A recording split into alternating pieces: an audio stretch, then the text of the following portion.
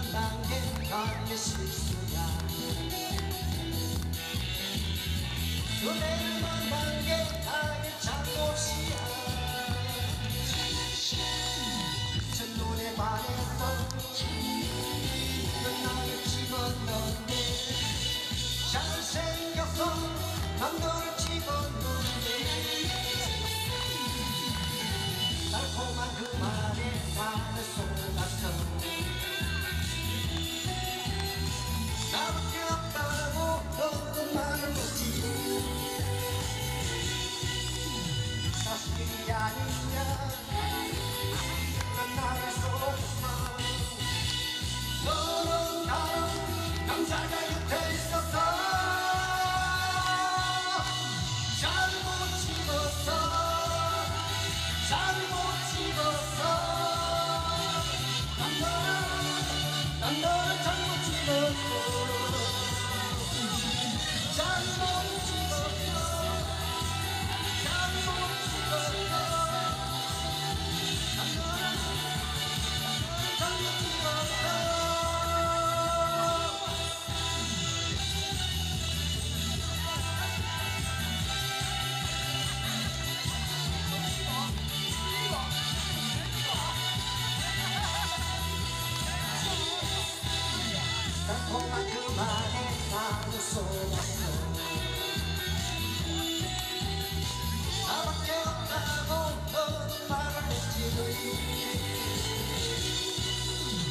사실이 아니야 넌 나를 너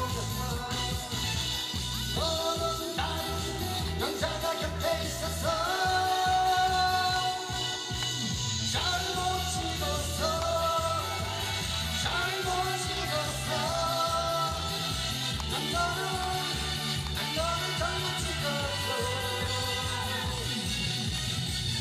못 찍었어.